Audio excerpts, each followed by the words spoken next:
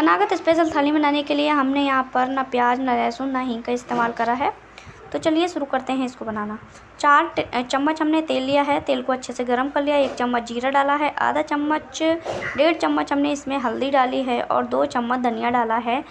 मसालों को अच्छी तरह से भून लेते हैं। इसके बाद हमने यहाँ पर चार टमाटर लिए हैं। इसको पीसीस में काट लिया है और इसमें ऐड कर दिया है। थोड़ा सा नमक ऐड करेंगे, जिससे कि टमाटर जल्दी से सॉफ्ट हो जाएँ। ढक्कन को ढककर रख देते हैं दो मिनट के लिए।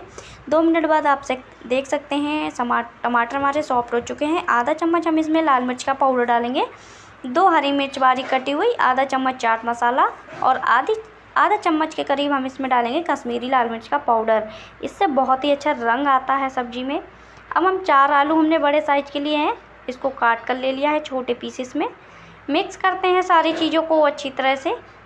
और दो से तीन कप हम इसमें डालेंगे पानी और ढक कर रख देते हैं। चार सीटी ले लेंगे। चार सीटी लेने के बाद जो हैं, सब्ज़ी अच्छे से पक चुकी है। थोड़े से बचाए थे हमने टमाटर, वो भी इसमें ऐड कर दिए हैं। गरम मसाला ऐड करा है। और धनिया की पत्ती ऐड कर दी है। तो सब्ज़ी, टमाटर आलू की सब्ज़ी बनकर तैयार है, साइड में रख देते हैं। तब तक हम कद्दू की सब्ज़ी बनाते हैं। ऑयल डाला है हमने इसमें। मेथी के दाने, जीरा, हरी मिर्च कटी हुई और धनिया पाउडर, आधा चम्मच डाला है। आधा चम्मच हमने इसमें हल्दी का पाउडर डाला है। तो सारे मसालों को भून लेते हैं और हमने यहाँ पर 500 ग्राम कद्दू लिया है, हरा वाला। वो हमने इसमें ऐड कर दिया है। पीला वाला भी कद्दू इस्तेमाल कर सकते हैं। नमक स्वाद अनुसार डालेंगे और आधा चम्मच हम इसमें डालेंगे लाल मिर्ची का पाउडर।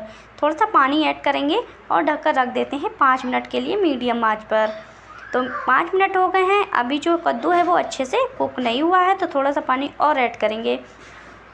थोड़ा सा पानी ऐड करा ढक कर रख दिया दो मिनट के लिए। तो यहाँ पर आप देख सकते हैं कद्दू की सब्ज़ी एकदम कुक हो चुकी है। आधा चम्मच अमचूर पाउडर डालेंगे, आधा चम्मच गरम मसाला डालेंगे। और थोड़ी सी धनिया की पत्ती हम डालेंगे और अच्छे से मिक्स कर देते हैं। तो यहाँ पर आप देख सकते हैं, कद्दू की भी सब्ज़ी बनकर तैयार है। तो एक बाउल में इसको सर्व कर लेते हैं। इसको भी हम साइड में रख देते हैं।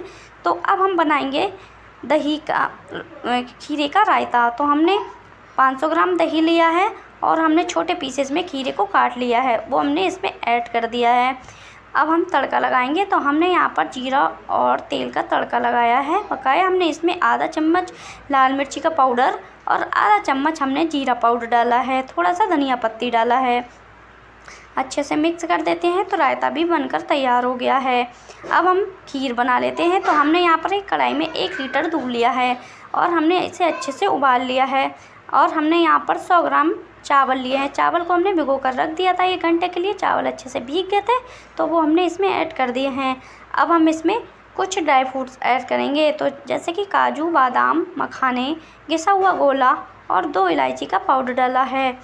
इसके बाद हम इसमें 250 ग्राम चीनी ऐड करेंगे और अच्छे से पका लेंगे। तो खीर भी हमारी बनकर तैयार हो गई है।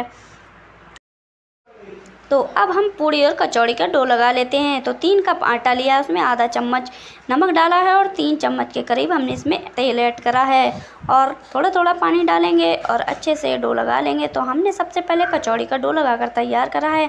तो हल्का सा गीला हम इसको रखेंगे, क्योंकि कचौड़ी का गीला होता है डो और जो पूड़ी का डो होता है वो थोड़ा सा टाइट होता है। तो तीन कप हमने फिर से आटा लिया है और उसमें थोड़ा सा नमक डालकर तीन चम्मच तेल डाला है। थोड़ा थोड़ा पानी मिलाते जाएँगे और अच्छा एक डो लगाकर तैयार करेंगे। तो अब हमने पूड़ी का डो लगाकर भी तैयार कर दिया है। एक पैन में हम दो चम्मच ऑयल लेंगे, एक चम्मच जीरा डालेंगे पिसा हुआ, एक चम्मच धनिया पाउडर डालेंगे, आधा चम्मच हल्दी पाउडर डालेंगे और अच्छी तरह से इसको मिक्स कर लेंगे। मसालों को भूनकर हम इसमें मूंग दाल डाल देंगे। अब हमने हरी मिर्च डाली है, आधा चम्मच के लाल मिर्च का पाउडर, आधा चम्मच गरम मसाला और आधा चम्मच अमचूर पाउडर डाला है। एक चम्मच हम इसमें नमक डालेंगे। तो अच्छी तरह से दाल को मून लेते हैं कचौड़ियों में स्टफिंग भरने के लिए। तो यहाँ पर हम अच्छे से हमने जो है वो दाल को अच्छे से भून लिया है। तो अब हम एक बाउल में निकाल लेते हैं और ठंडा कर लेते हैं। अब हम छोटी छोटी लोइयाँ बना लेंगे। तो सबसे पहले हम कचौड़ी बनाएँगे। तो एक छोटी सी लोई लेंगे और उसको बड़ा करके अच्छे से स्टफिंग भर लेंगे। इसके बाद हम छोटा सा इस तरह से सब तरफ़ बेलते हुए गोल बेल लेंगे इसको। कचौड़ी भी हमारी बनकर तैयार हो गई हैं। अब हम इसको फ्राई कर लेते हैं। तो तेल हमारा अच्छा गर्म हो गया है। कचौड़ी को बराबर चलाते हुए उलट पुलट करके हम इसको सेक लेते हैं। तो यहाँ पर आप देख सकते हैं कचौड़ी अच्छे से सीख चुकी हैं। अब हम ऐसे ही पूड़ियाँ बनाकर तैयार कर लेते हैं। तो पूड़ी को सेम उसी प्रोसेस से बनाकर तैयार करेंगे। तो जब तक हम खाली लगाकर तैयार कर लेते हैं, हमने यहाँ पर खीरे का रायता, कद्दू की सब्ज़ी, टमाटर, आलू की सब्ज़ी, मूली की भुजिया और खीर रख दिए है और यहाँ पर हमने कचौड़ी और यहाँ पर पूड़ी लगा दी है। तो आई होप कि आपको ये रेसिपी पसंद आई होगी। रेसिपी पसंद आई हो, वीडियो को लाइक करें और चैनल को